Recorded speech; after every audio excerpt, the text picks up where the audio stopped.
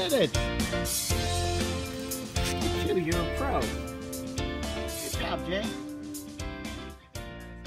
here. wanted to show you our completed uh, model. I put a couple videos about this being in the process. And this was the camper I was building for my family and I to travel in full time starting August. Well, um, we had a client come in that just loved it, so I let her buy it.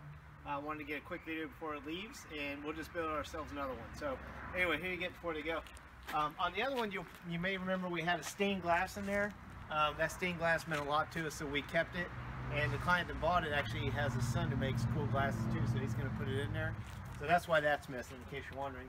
Um, we'll do the inside first, and then I'll show you the outside. So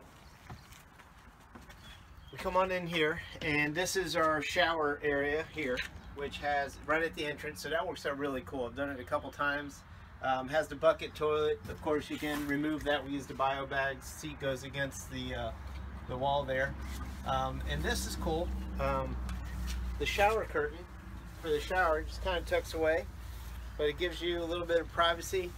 Got a magnet there and then a clip here. So, little privacy for the shower and bathroom. Keeps the water from there. And then the magnets are nice because it just kind of holds it up out of the way and if it's wet you can leave it hanging over the shower or you can tuck it back into the closet there. So this is still only 10 feet long. This is our um, standard 10 foot long but it has uh, room for the two kids down there queen bed up top. We did a little more cabinetry. There's these uh, cabinets here uh, for the kids to put their stuff. They each have their own window on this one with a screen they open with a crank. Um, their lights a little divider wall. Of course there's outlets and storage tucked everywhere uh, this is something we haven't done before. We did the air conditioner mounted up here because uh, we had storage compartments and kitchen um, stuff on the outside on this one here and the shower here so we couldn't put it where we normally do. Um, and this just ended up being a great location. It doesn't hang out of the outside really. You'll see that when we go outside. Um, and we have a remote. So come on in and check these out. This, uh, first of all, we actually won uh, the uh, an award for the best builder gypsy at the um, Atlanta tiny house festival. And so I did these little curtains over these portal windows I made, and we just used the magnets, work really nice, holds the curtain up. And then the curtains up here, um, thanks to mom, making the curtains for all these things all the time. Uh, just did a stainless steel aircraft cable, and then these slides, slides really nice and easy, covers the window well, works really great. Um, this one has the the uh, bump out on the front. It's like an air dam to give it a little more aerodynamic. So because of that, it gives us these huge storage areas. I'll go ahead and jump up and show you. So, look how big that is.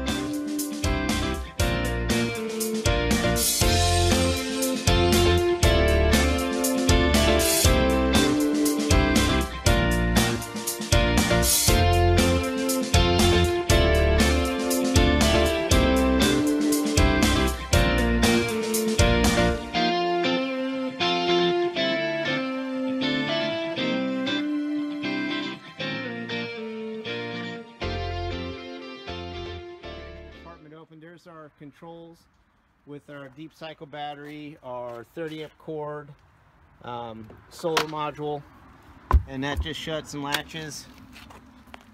Uh, we have our solar panel up top. Can't really see it. It's 50 watt solar system.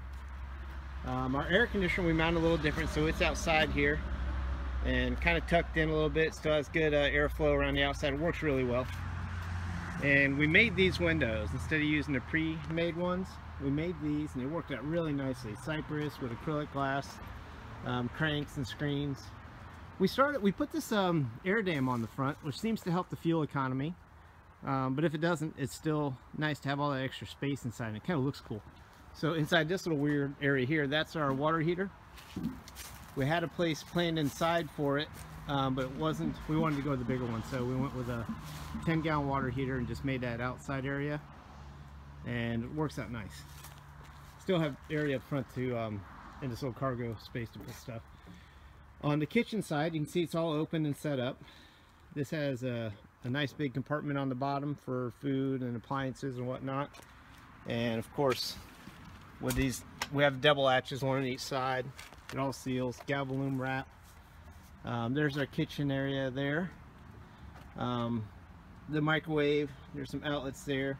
There's also an outside outlet, so if you got stuff plugged in, even when the kitchen's closed at work. And check out the sink. So the sink is really cool.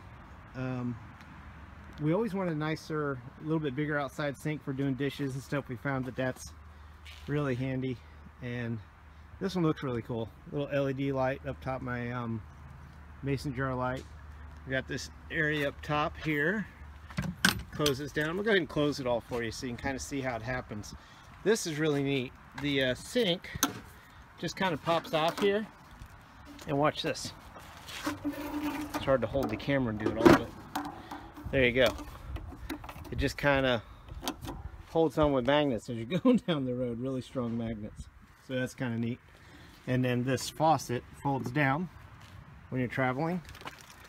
And you just close the thing. Then you got a whole, there's the whole thing closed. And we wanted a little bit bigger fridge for full time, so it was a couple inches too tall to fit on the side, so we just put it right on the back. Worked really nicely. See it there? And uh, it closes, has a hatch to go over it. Latch it shut. See?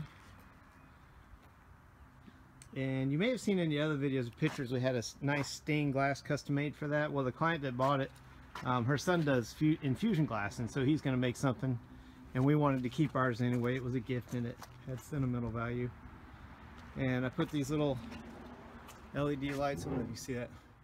There's there, and in the other corner, there's two up front underneath the air